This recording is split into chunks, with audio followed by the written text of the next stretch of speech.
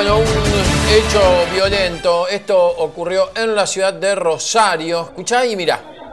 El teléfono que que no tenía.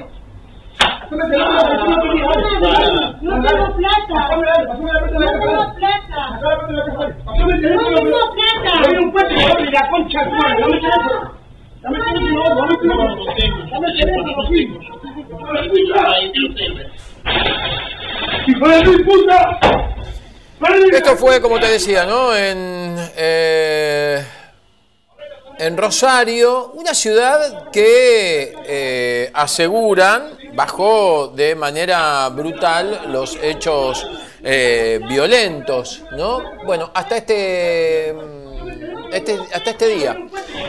Concretamente, un delincuente al que es muy fácil identificar, una rata ¿eh? abominable que no solo tenía que eh, robar, sino evidentemente eh, la intención era mm, más violenta, ¿no? Más allá de que le pegó, que actuó de una manera realmente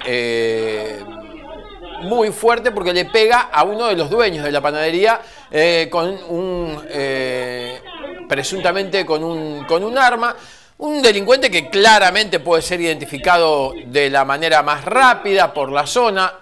Eh, fíjate el pobre chico que está ahí atrás, ¿no? Digo, estaba comprando, se quedó atónito. De hecho, la panadera vas a ver cómo en un momento trata de contenerlo.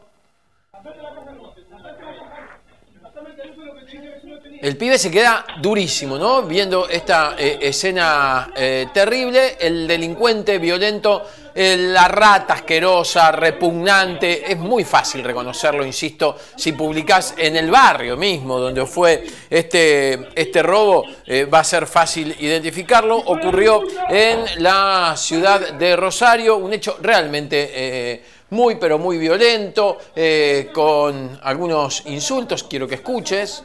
Haceme el teléfono que te dije que tenía. Si no tenía.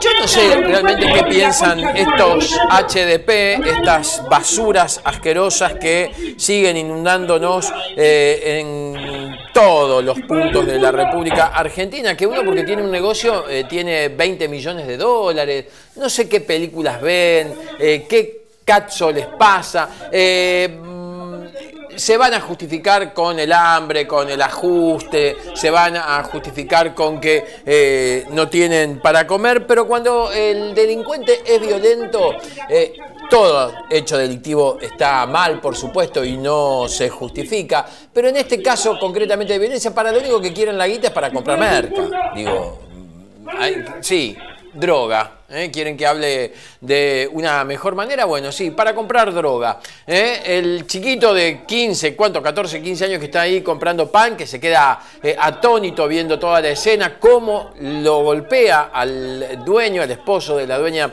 de esta panadería, allí en eh, uno de los barrios más populares de la ciudad de Rosario y este delincuente que finalmente asqueroso, repugnante, que tiene que estar buscándolo toda la policía. Vamos a ver seguramente en estos días eh, por el trabajo que están haciendo las fuerzas de seguridad allí en... En Rosario seguramente vamos a tener noticias ¿eh? Eh, y me gustaría que le saquen la capucha y que lo muestren, que no le socaleen la cara. Esto hay que terminarlo de una vez, ¿no? ¿Viste? A los violadores, a los chorros, a los asesinos. Basta de taparle la cara, chicos.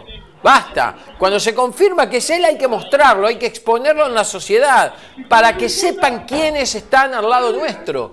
Quiénes son los delincuentes, quiénes son los chorros, quiénes son las ratas que están permanentemente haciéndole daño a la Argentina, a la sociedad, a los laburantes, a la gente común y corriente que tiene ganas de progresar.